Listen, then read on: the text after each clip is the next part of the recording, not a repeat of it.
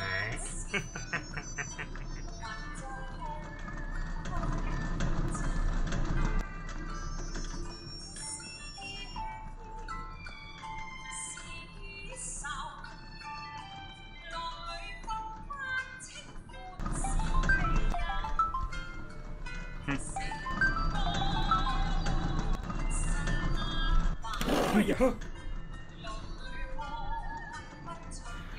ấy dạ bác gái hả? Bọn cháu đang làm việc.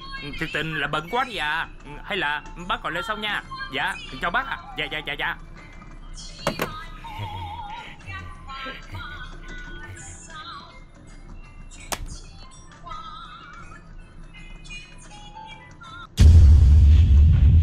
Chém chết mẹ nó cho ta. Dạ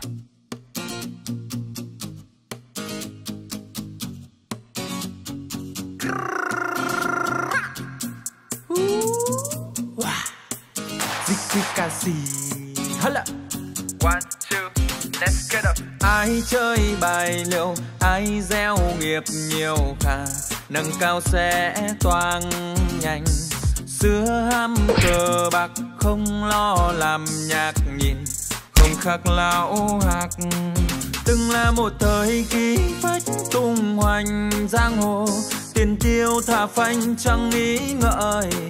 Anh em bạn thân không thiếu Nhưng thân thằng nào, thằng nghĩ lo. Cuộc đời của mình nhăn nhó, Nhớ phút giây chung đề, ôi sướng và phê. Ngoài khơi sóng mênh mông ta bóng thấy đường về. Bay lắc chơi không ngại ngùng, Bay lái không ai sợ bùng khi đã có nhiều tiền trong quần Thì mình làm tiền cũng được. Mấy bữa nay chơi bài không thắng toàn thua. Tiền trong túi bay ra không kháng mới bị lùa Xe vẫn bay đi lần lượt là chốt sao thế toàn trượt. Khói thuốc bay ngập tràn sới bạc này, Nhìn như cháy nhà. Thoáng cái, Tiền bay hơi, Rồi đóng van đại gia khơi.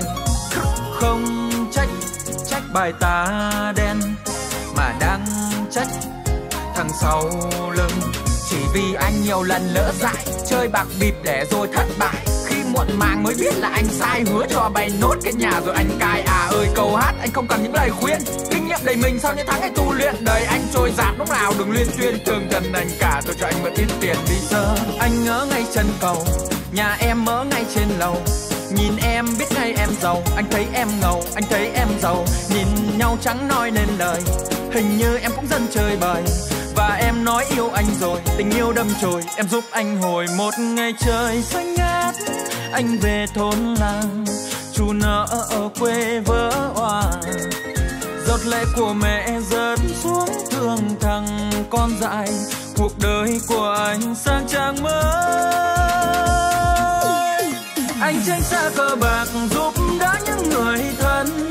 Tiền có sẵn trong tay anh giúp những người cần. Săn đón anh như thần tượng, Chiêu đãi anh như hoàng thượng. Muốn giữ anh ở lại chỉ một lần Gà anh bú cần. Anh khác xưa nhiều rồi, không khoái mấy đồ sang. À về, mồm lo khá hồi ai nếu đang thiếu nợ mà không dám kêu với vợ? Gặp anh sẽ lo không sợ đừng lo em à vì ai cũng nợ. Hoàng hôn kéo em đi rồi thì anh kéo ngay em lại. Tự tin báo anh đừng ngại không báo là dại ôi đó là dại. ta sống ở trên đời phải biết trước và sau